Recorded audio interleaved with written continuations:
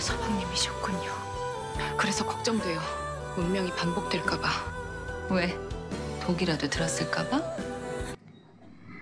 In this is the story of Park's marriage contract has shared a sneak peek at what will happen in the next episode. 이거 왜 이래요? 연 옷에 뭐 문제가 생겼다고? 제 옷 빼고 가요. 저보다 쇼가 더 중요하니까요. Based on a web novel, the story of Park's marriage contract is a time slip romance drama 1주년 행사 손대. 저도 연우 씨도 1주년 행사 포기 안 해요. 아버님 뜻을 어기기 시작했거든요.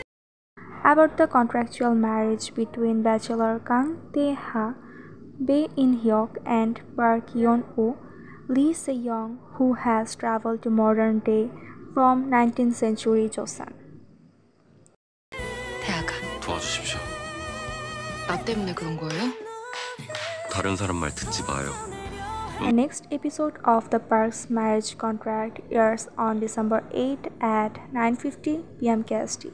Stay tuned for more updates. 씨는 내 사람이니까. 제가 여기 있는 것도 전부 다 꿈같이 느껴져요.